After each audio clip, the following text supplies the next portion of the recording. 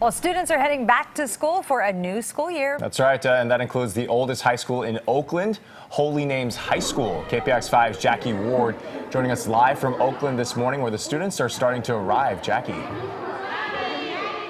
I have friends. You want a pep rally at 5:30 in the morning? Here's your pep rally at 5:30 in the morning. Even their mascot Mona is here. We are here at Holy Names High School, home of the Monarchs. Gotta love these girls for waking up extra early. So this is a school that's rich in history. It's celebrating its 150th year of existence throughout the school year. And at the heart of its community is a woman who's been affiliated with Holy Names for 74 years. First as a student, then a teacher, now a volunteer. Holy Names High School is a special place.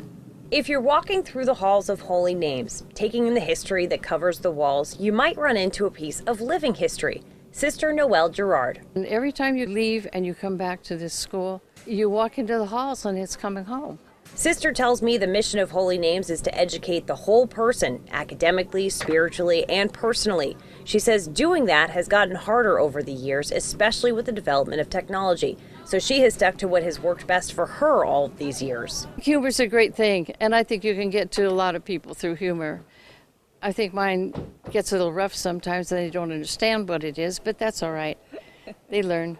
Originally established in 1868 on the shores of Lake Merritt, the school was first called Convent of Our Lady of the Sacred Heart. It was one of the first high schools in Oakland. Holy Names first opened its doors on Harbord Drive in the fall of 1931. And Sister Girard assures me that once you're a part of this community, you immediately become a piece of its history. It's the people, it's the sisters, it's the faculty, it's the students. Um, it's just being a part of a wonderful, wonderful place. Ellen. So Sister Girard told me that her early morning wake up days are over. Hey girls, what did I tell you? It's time to cheer now. I don't blame Sister Noel for sleeping in, but these girls, they are here. They love their school. We're all decked out in red and blue this morning. It's a really fun time. Kenny and Michelle, back to you. That is love so the energy. Cool. Yeah, a lot of school spirit at 5:30 in the morning. That's awesome, and we love Mona too. Mona, the Pretty school impressive. mascot. Yeah, very impressive. All right, love all those pom poms. awesome, Jackie. Thank you.